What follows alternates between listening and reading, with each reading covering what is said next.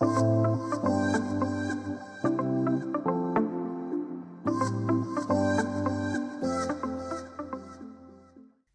crear este DigiWine necesitaremos un bastidor y rafia natural.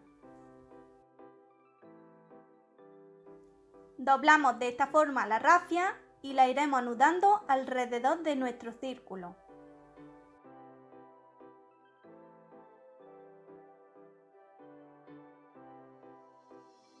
Y de esta forma iremos repitiendo el proceso hasta rellenarlo por completo. Ahora cortaremos lo que nos sobra de rafia para dejarlo lo más igualado posible. Ya que tenemos nuestro círculo formado, vamos a necesitar un espejo. Por ejemplo, este es de la web Silu. Es el espejo oso y lo pegaremos a nuestro círculo de rafia.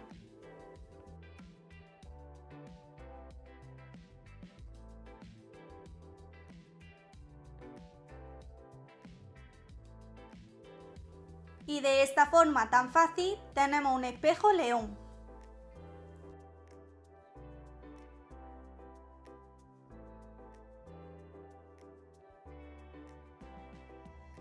Pero si queréis dar un paso más, vamos a necesitar un tablón de madera, una plantilla con números y por supuesto un rotulador permanente de punta fina. Con ayuda de la plantilla marcaremos la medida de nuestra madera.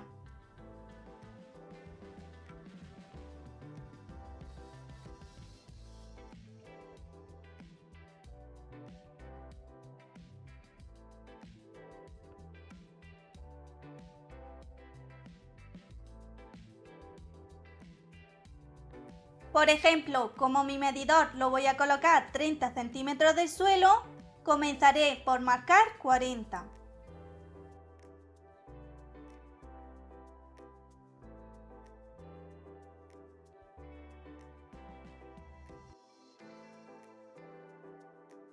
Ahora toca repetir el proceso hasta rellenar por completo nuestro medidor.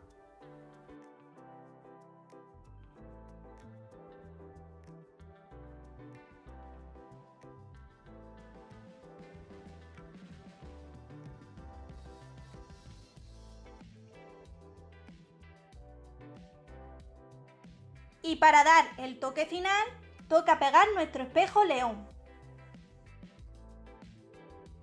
Ah, y muy importante, para colocar el medidor en la pared utilizaremos unos cáncamos.